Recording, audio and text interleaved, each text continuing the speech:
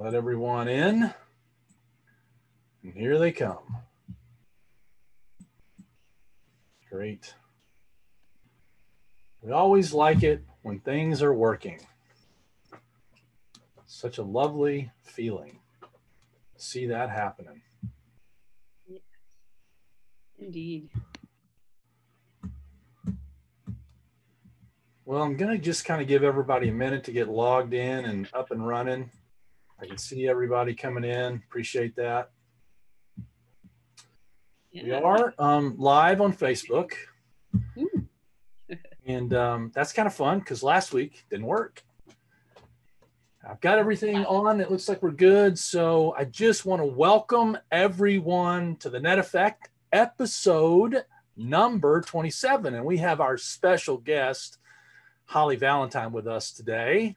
Uh, we're gonna we're gonna learn about Holly's journey and all the cool things that she's doing at the Mystic Aquarium. Yeah. And I am your host, Robin Jones, director of the ABF Career Alliance. And man, I am excited about our program today. What I would like to do before we get started is make sure that everybody is up and running and that our Q&A is up and running. So if you would take just a quick moment to open up the Q&A, it's in your toolbar. It says Q&A, click on it, and then type in your name and where you're from in the Q&A um, chat box there. I'm not using chat. It's been disabled because we're trying to you know, limit the, the, the number of things we have to control, but Q&A session is really the best place to work from the webinar platform. So again, ah, thank you, Alan. Nice to see you, sir. Marianne, Conrad, great. Nancy, thank you. Super. Love to see everybody jumping in. Thank you, Steve. Good to see Heather. Nice. Appreciate everybody being here. Hey, Chris. How is it on the East Coast back there? Karen, nice, great, perfect. So it looks like we're up and running. Um, we do want to welcome our guest, Holly, today. Um, as I mentioned, Holly works in the husbandry in the fish and invertebrates department uh, alongside an amazing team who care for and manage and maintain the main gallery at the aquarium, which is the Mystic Aquarium in in in Connecticut. Now, you know, I, I would probably butcher that word. Where where what is the town, Holly? Mystic. Mystic. There you go. I like Mystic Pizza. That's right. the place. is there is there like a Mystic Pizza pizza's place? There is. Is it as good as it it seems to be when you watch the movie? I don't know. Oh, okay. Well, Never maybe that'll be a place you can visit sometime. One day. so, what we're going to do today is we're going to learn about Holly's journey and how she kind of got to this place and some of the cool things that she's doing. So, um, Holly had a wonderful, she's also a wonderful musician. And, yep. and this is, tell us a little about this place, Holly. So, uh, my journey began at the University of South Carolina, go Gamecocks. Wow. And um, I chose that school because I was the little kid that wanted to be a marine biologist when I grew up, you know, the second grader or whatever. And so science was always my forte, both with a capital S and uh, lowercase s. But um, so the University of South Carolina me, allowed me to have both my marine science degree, um, which was every school calls it something different, whether it's biology, marine biology, marine science, you know, whatever forte the professors provide but then I could also play my bassoon and be a member of the bassoon studio. So I took lessons. I also was awarded bassoon um, music scholarship with that. Um, and then I was a member of the marching band, and I have always loved sports and being there. So I, I had the opportunity. I think I went to like 42 or 44 out of 52 football games. Wow! Out of the four years that we were there. Um, so this picture's from my heart. senior year for my senior year, we called ourselves the, ourselves the heptocracy because there were seven of us. wow. But yeah, it was it was so much fun to because that you know everyone's always like back in my day when our school was good. This was actually when you know when we beat number one Alabama. Um, that was Yeah, I remember that. Yeah, that was a big victory for the Gamecocks. Yeah, What were some of the things that you took with you from that from that experience that uh, you kind of that's kind of carried with you? Um, definitely the ownership of taking care of um, my own like needs, basically called time management, but um, just really um, being present and what I'm doing as well. Um, I know I definitely um, loved the opportunity the University of South Carolina offered me because it's technically a research institution, which if you are interested or have ever thought about marine science, that's one thing a university offers, whether they're very heavy on doing research or if they have other focuses um, with what their department offers. So, South Carolina was a research institute. I had no idea what I wanted to do with marine biology once I got there and actually did my degree or once coming out the end i didn't know what that was going to look like so i figured going to a research university that you know a very small part was like going to a research un- university um, offered me the chance to see that firsthand if i wanted to find a mentor learn about you know their research asking those questions and doing that um, and so you know realized I don't want to do research. I would much rather be the person on the other side. I don't want to ask the questions and find the answers. I'll um, read the questions and decipher what they answered, and then I can disseminate to the world. And so that um, quickly turned into a lot of outdoor education as um, seasonal work after um, college. But throughout my entire time at um, of going to the University of South Carolina, my summers were always spent at Adventure Unlimited. Um, the AU ranch is out in Buena Vista, Colorado. That was actually where I met Robin, which is awesome. Right. Um, and most or all of your kids. right. But it's yep. just um, um, all those opportunities um, growing as a person from a counselor in training through being a counselor and then eventually becoming a program head. Um, especially, I know in most of our programs, it's there's a, a lot of education and hands-on um, that goes on between us, the counselors and the campers. But especially with the rafting program, we had such we have such a heavy focus on teaching our campers to become the guides of the future that that education and that um, propulsion of learning and how to do it effectively continued with me and continues with me to this day. I taught swim lessons, which is all, you know, again, one on one, how figuring out how to let someone learn how to move their body without you physically doing it for them. Um, uh, three, I worked at three different outdoor education centers. Um, one is the one um, 100 Elk, which is part of Adventure Unlimited's spring and summer program with schools. I worked at a marine science um, education center on the coast near Charleston, and then one on the coast of North Carolina um, over by the Neuse River, which is a big estuary. But what was really awesome about all three of those positions is that they were within half an hour of a church. Not that I like chose it on purpose, but I was able to go to church when um, my schedule allowed. When I was, I went to a church in Charleston. I went to a church in New Bern, North Carolina, which one time the power went out. So I was able to like being the music person that I am, I was able to play like the the chorus or the melody for the hymns on the piano while we were um, in church that day. And um, being in Buena Vista, it's a very um, friendly and Christian science and otherwise town. So that was easy to like get to church there as well. Well, it may it may sound like an obvious question since you know I I saw you every year I was at camp and um, in different capacities, but um, you know so often students and even parents are, are are looking at why that's an important or why should I go to work at camp? Why should I serve at camp? What benefits? What how does that benefit me? And I've got all these other you know things that are everybody's telling me I got to go here, I got to go there, and you know you continued your um, your work at camp and it obviously served you really well but you know you're kind of an outdoor education person anyway so it's naturally suited to what you do but but what about for you know students that are not in that world that are in business or they're looking at architecture or they're looking at other things like that?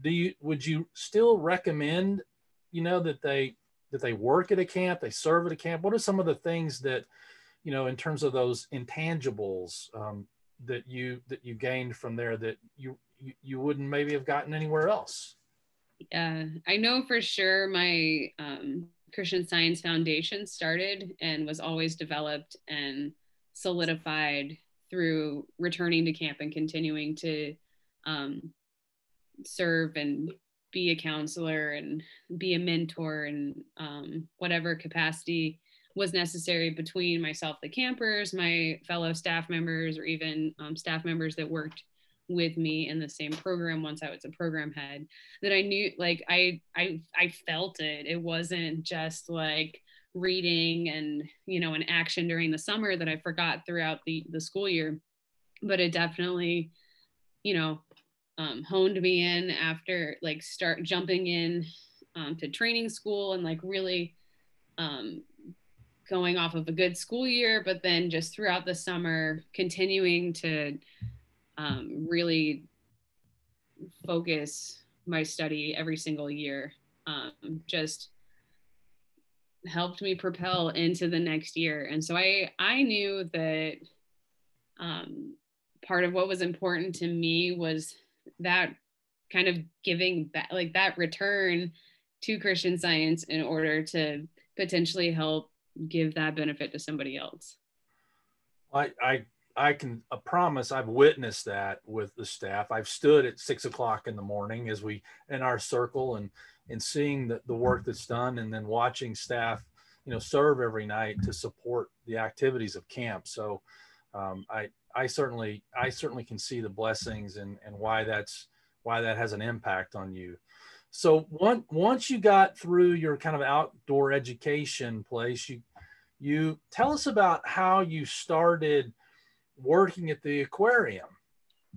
Um, it was definitely a benefit of the location. I kind of um, I worked in a few different places or different I, I developed different skills before i was able to fully launch into being an aquarist um, but that was kind of based on location when my husband was getting his master's i was um, listening and being open to what that included um, you know other jobs that really liked that i was a camp counselor and had that connection to kids but then when we moved to um, connecticut we were close enough and rigel my husband learned from um, one of his like CPR first aid instructor trainers that um, you can volunteer at the aquarium because he was a diver for the aquarium. So I look, I almost immediately looked into it, applied.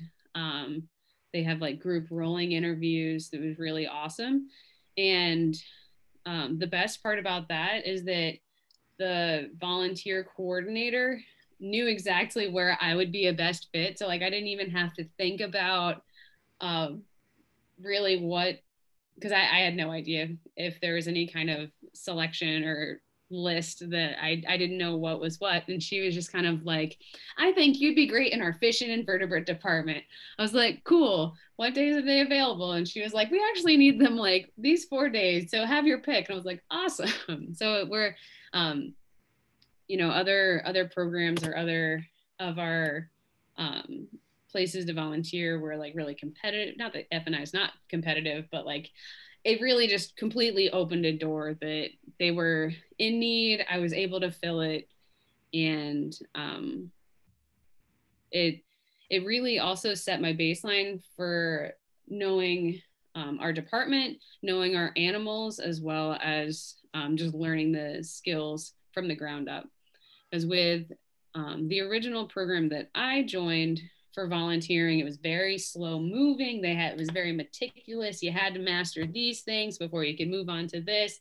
They had people had to sign off. It was a big thing, which de- it developed and changed as different um, aquarists became in charge of it. So it was kind of cool to also like see it change and develop and work with that. Um, but then I was also very grateful that it didn't have to be as slow moving and it could be more one on one. So eventually, um, a couple maybe like six months into the program, new aquarists took over and they allowed you to have like one-on-one time with an aquarist as a mentor. And so pretty um, pretty soon thereafter, I was working one-on-one with the coral gallery, which is very beautiful. They're all um, you know live animals, live corals, which are very delicate in terms of making sure that you don't break them, but also making sure that the right nutrients, the right com- um, water chemistry is available to them. And so that it was um, almost an honor to be put with that aquarist because um, they saw my skills, they saw my attention to detail, my attention to make sure I was doing whatever I needed to accurately, but also precisely and in a timely manner.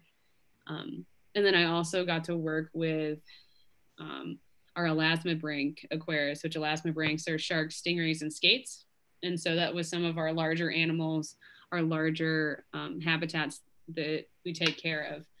Um, and so it was a really, a really like um, important, but also um, major um, work that I was doing. And throughout that time, there were a couple times that different aquarist physicians were um, opening up at mm-hmm. Mystic Aquarium.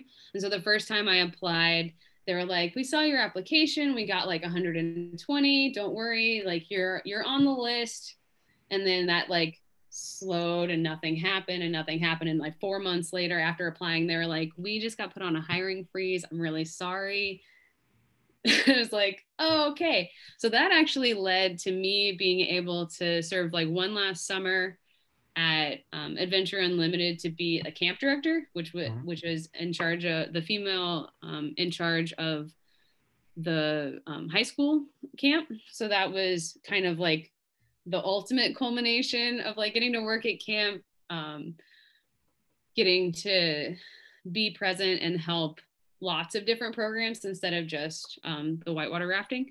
So that was really awesome. And then as it so happened, um, right on like my last day off in August before coming home, I saw that they like reposted the positions. And so I was sitting in the like local coffee shop, like re- rewriting my letter of or my uh, my cover letter, making sure my resume was up to date thinking of like new ways since I had already applied to there once of how to say the same thing, you know, right. how to make myself in a better light, a little bit more.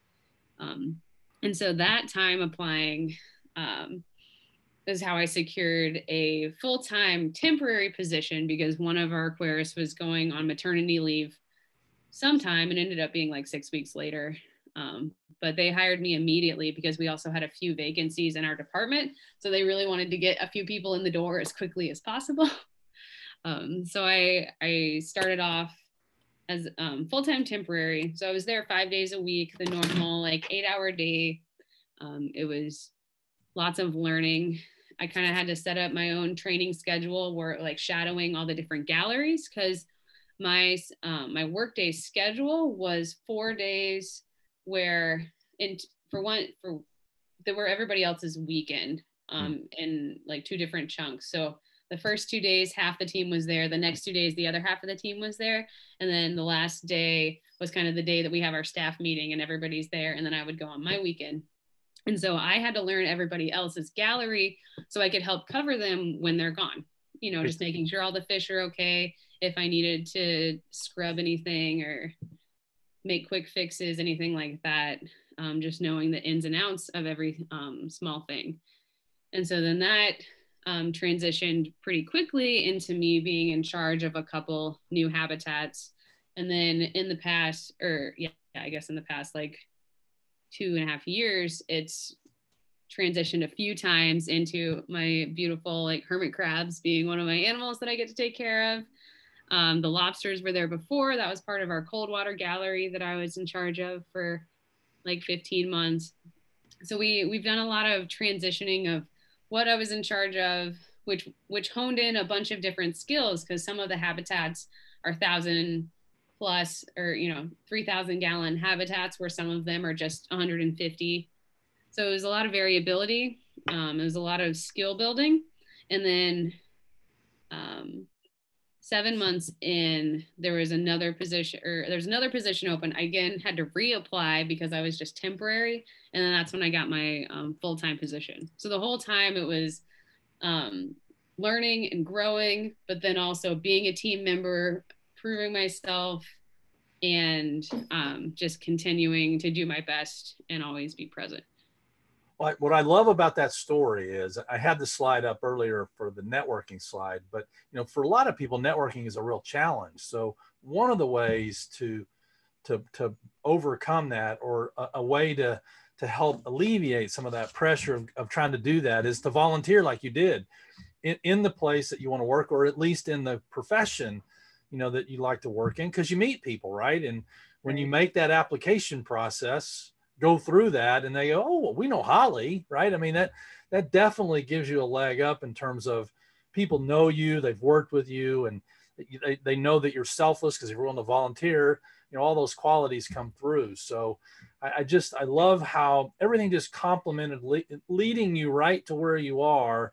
And at the right timing, I'm sure you felt the need for AU is because I'm sure I know you and I know how qualified – and wonderful, a wonderful leader that you are. So I know that you were a major blessing for the camp at the time that you needed to be mm-hmm. there. And then you were rewarded by, you know, finding this job while you're there. So, you know, it's kind of fun when we start seeing that. So let's look at the things that you've been doing now, what kind of stuff you're doing. And you, you mentioned to me about how important the research and the educate the research piece of this is and and the affiliation that you have with the local local university.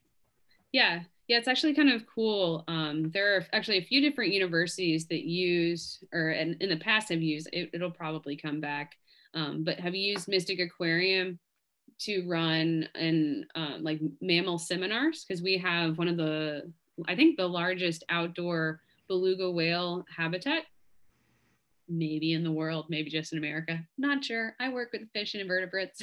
I know it's like 750,000 gallons.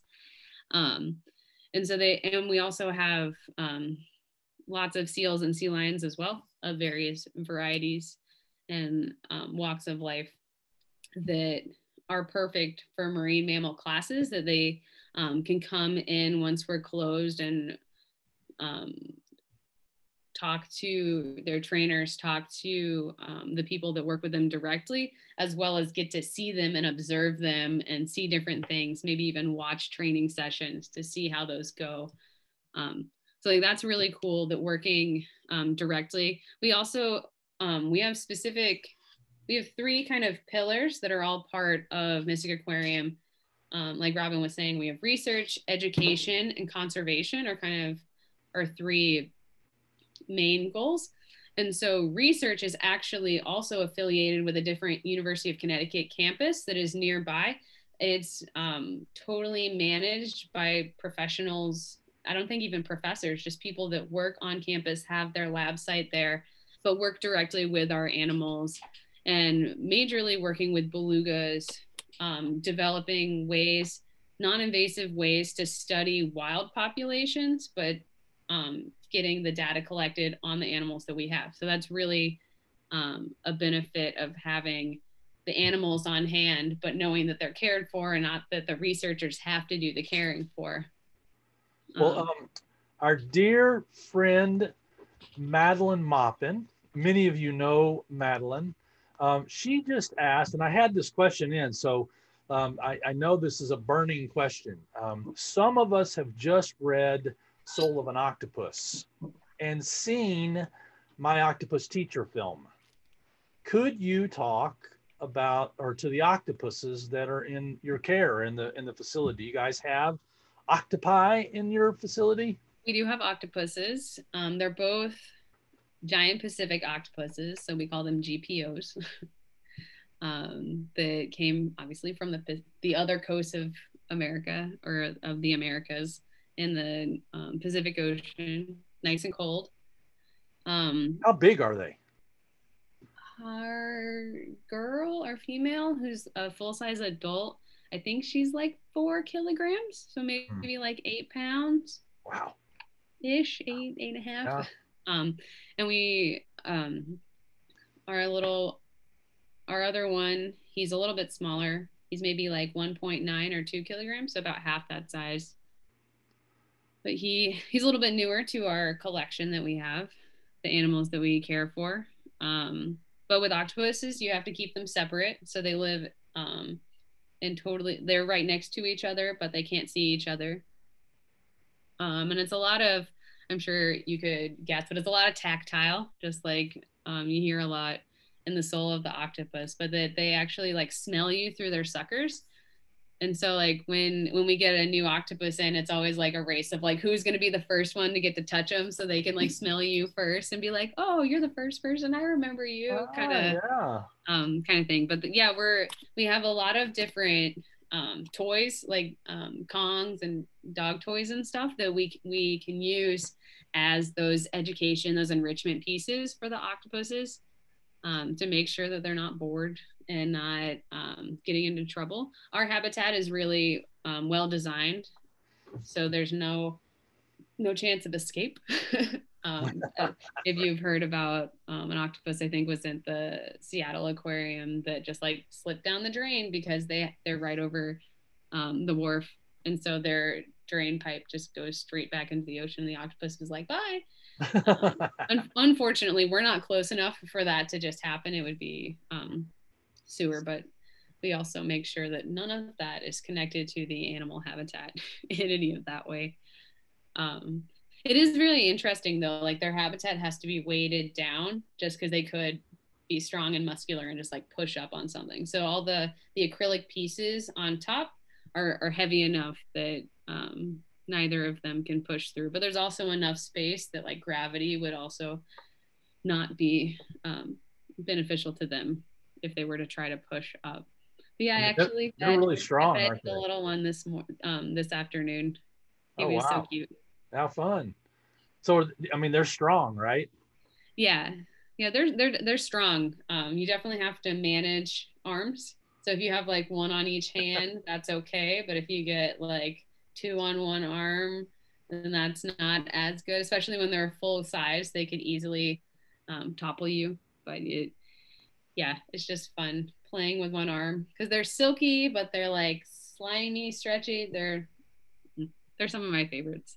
Yeah. Well, thank, thanks for that question, Madeline. Um, and you were talking about education um, in the kind of the, the licensed preschool program and on campus K through 12. I'm sure um, with the things that are happening with education today, um, you, you've kind of had to think differently and about your education. How's that working nowadays? Yeah, our, our education department has always um, been you know a somewhat welcoming place whether it's with field trips or bringing in um, different classes for seminars or like one-time events but we um, they've done so much work um, over the past six months whether it's the end of last school year and the beginning of this one where um, they're on an ipad and they're just walking around the entire aquarium talking to the class about whether it's something basic as just like seeing new animals and learning about them. But i also heard our education director talking like specifically about filtration and the tank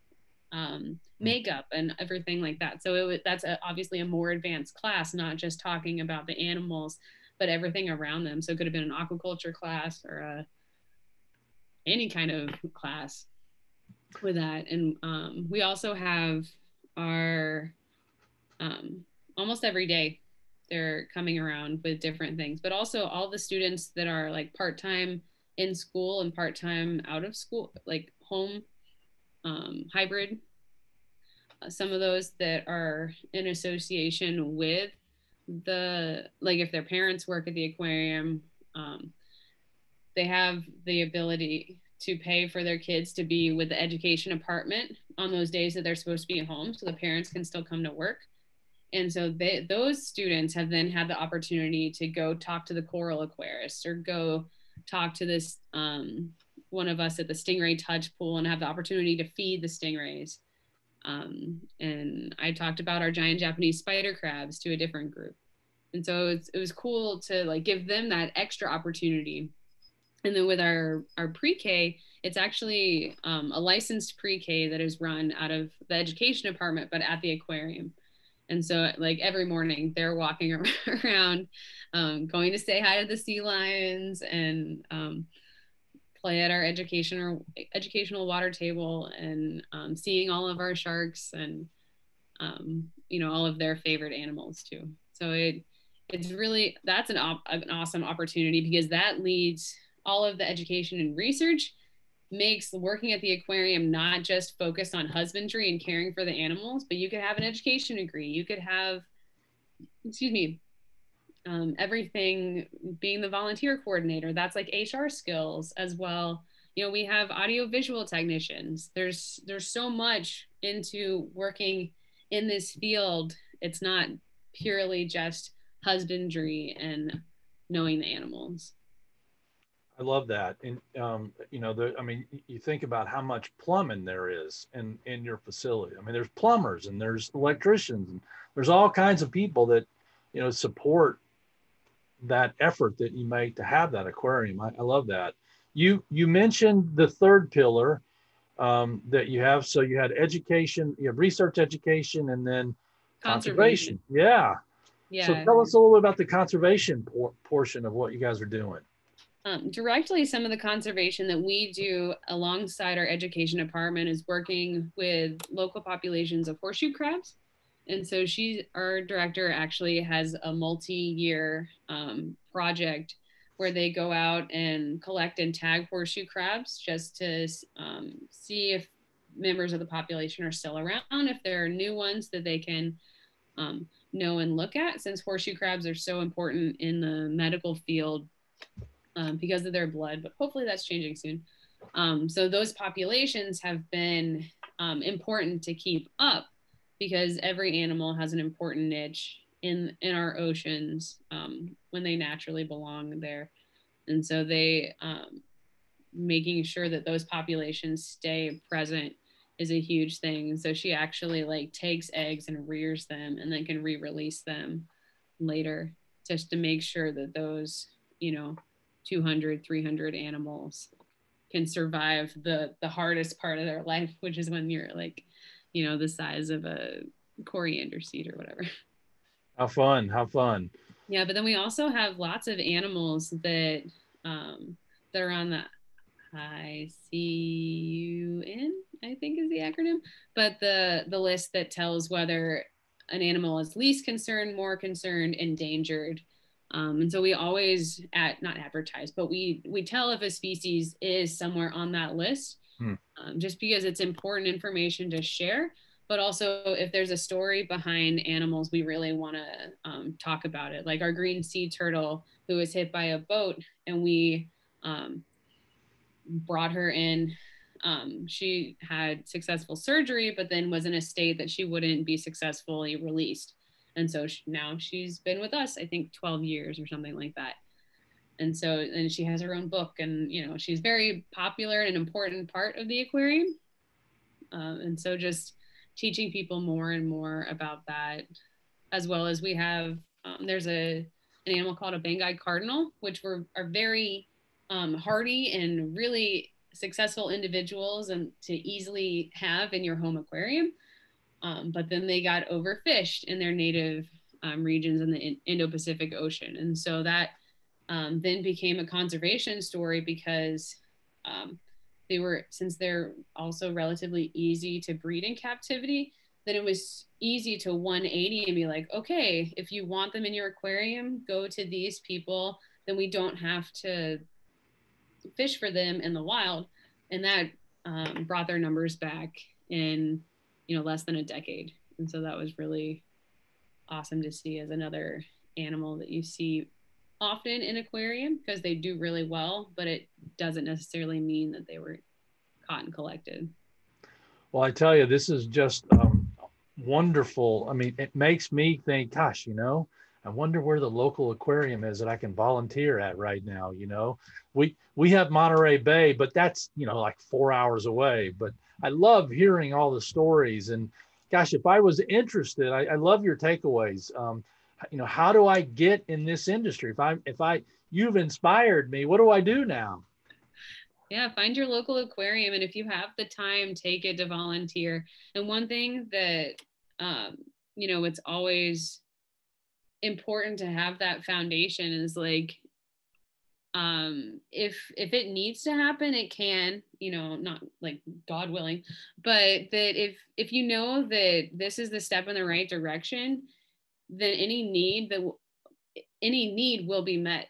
And so you know for me and myself i worked and at a at a school for you know for one school year while i was volunteering at the aquarium. And so like needs for my personal needs were met um, with still being able to work.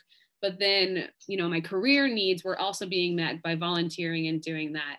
And a, a, a relatively easy way to jumpstart that is definitely doing an internship which we at the aquarium we have internships in the spring summer and fall um, which is not just you know not just during the summer. So there's you know that's a little bit of um, flexibility especially with working at summer camps if that's what you love to do but also that um, it doesn't have to just be in that summertime. It could be graduation camp and then working in the fall um, at a zoo or, or aquarium. And it's um, all different um, departments as well. So again, we talked about that it's not just the um, husbandry people that work at an aquarium. Also, the internships are not just working with them. There's the dive operations, digital media, education, conservation, and then all the husbandry um, marketing, development, every single place has the opportunity to become an intern. And that's just another, you know, it's more full time.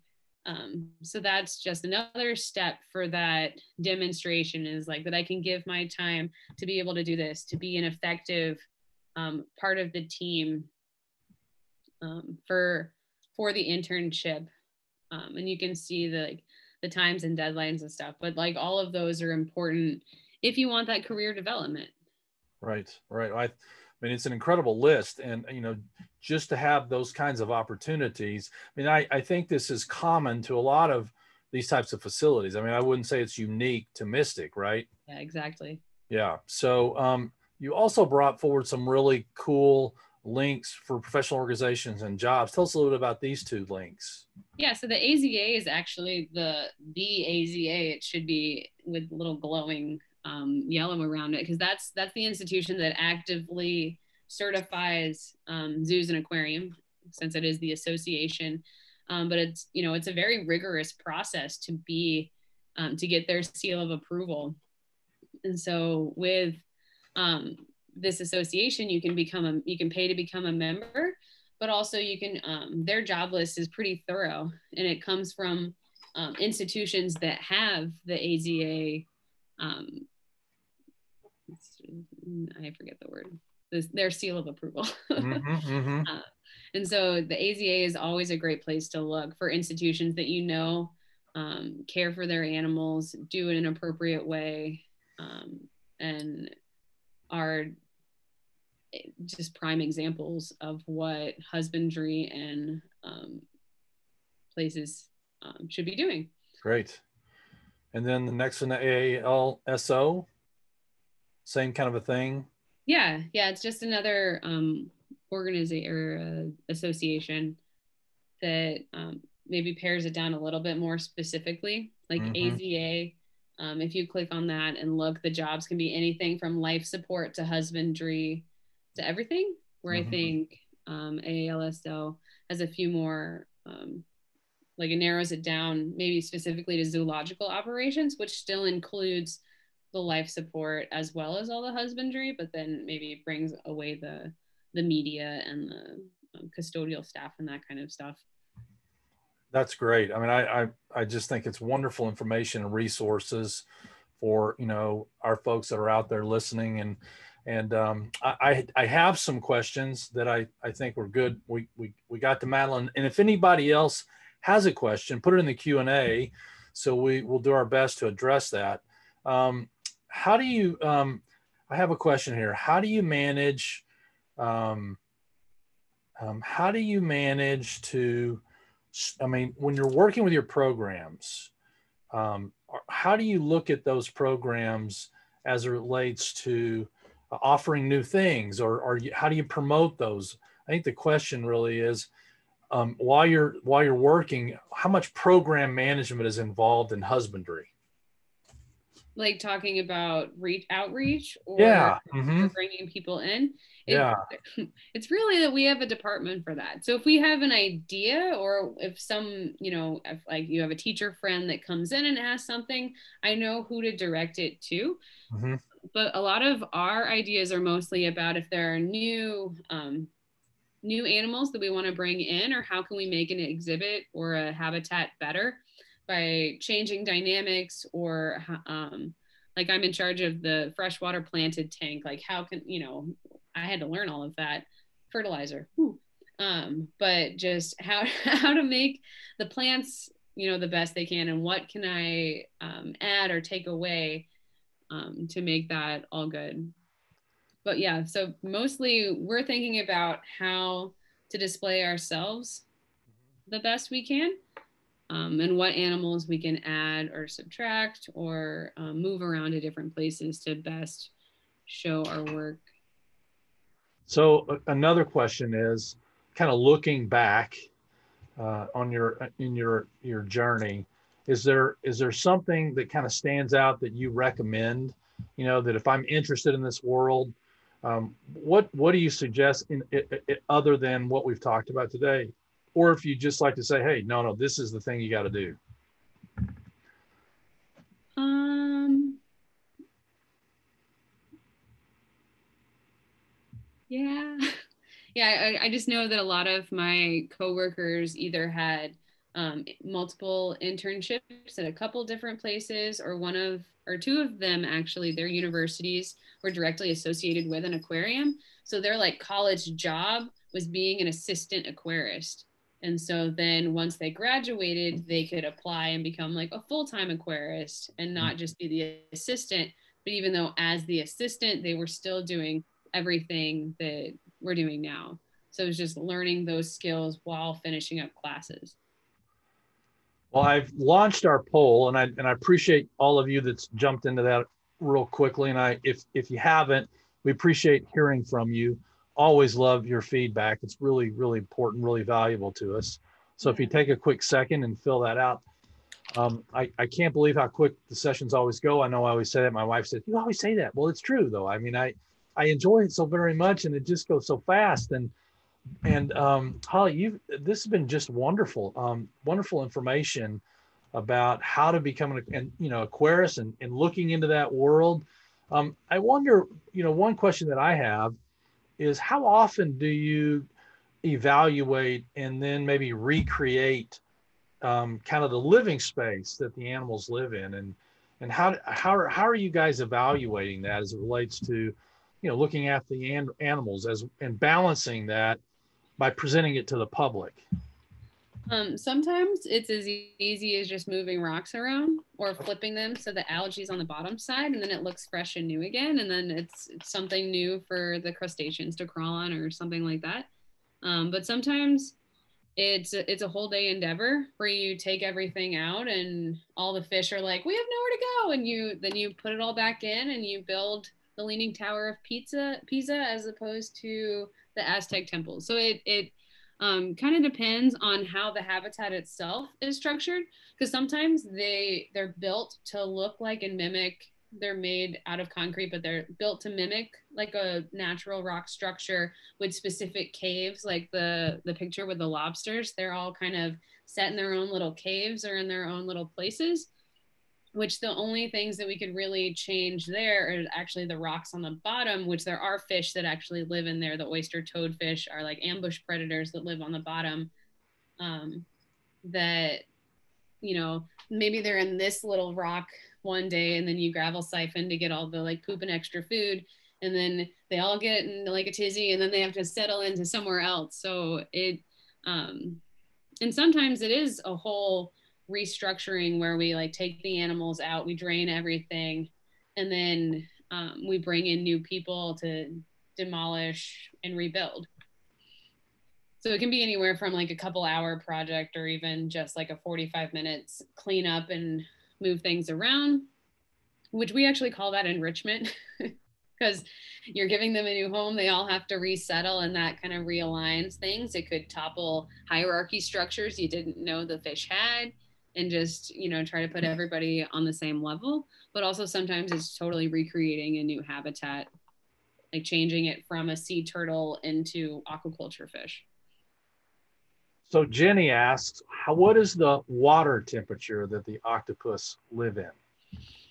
It's somewhere between eight and 10 degrees Celsius.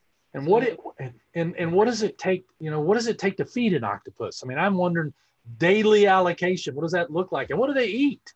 Um, they we have a wide variety of what they eat. All of our animals eat restaurant quality food, which is really great for them because they don't have to really worry about that. They just have to worry about whether they like it or not. Fish are so picky. Animals are so picky, which I'm sure you know if you have your own pet.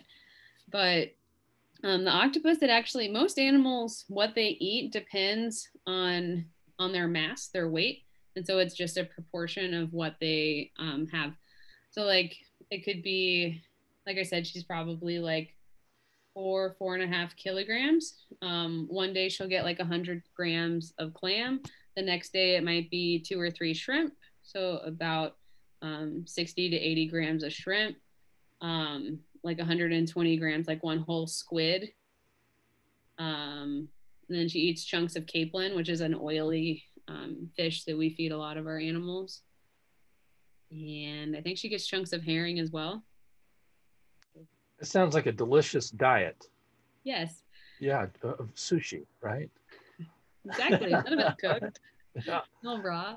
Yeah, that's right. Well, it's been a lovely, lovely afternoon with you. Um, for those of you that don't know much about the Albert Baker Fund, you can find out at the at albertbakerfund.org.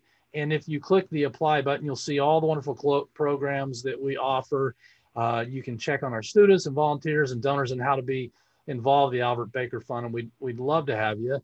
Uh, this is the ABF Career Alliance. It's one of the programs that the Albert Baker Fund supports. And if you're a job seeker, a student, or a potential career ally, like our dear sweet friend Holly here is, we would love to invite you to participate in the Career Alliance by uh, posting a one to one career connection or a potential job. In fact, one of our um, folks just sent me an email this morning. I'm going to be putting up a, an accounting job um, at the UN, which is kind of cool. Um, so, yeah, when you think of things like that, we would love to help tell our community about it, spread the word, and invite you to participate in the ABF Career Alliance.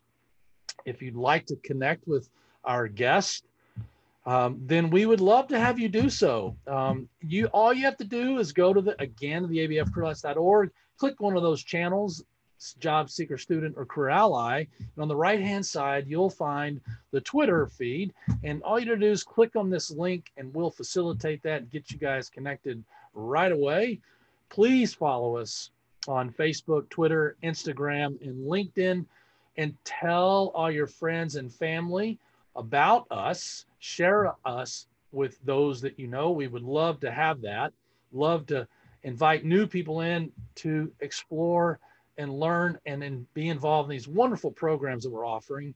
Gratitude is what our students are expressing for their brotherly love scholarships. The team at the Albert Baker Fund, Jeffrey Ann Carroll and Jill, are working hard to process all the applications so that ABF can get the financial resources to our students.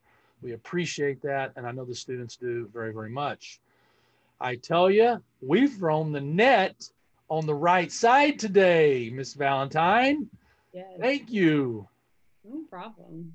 What a great, what a great time. What a wonderful um, look into the world of an aquarist.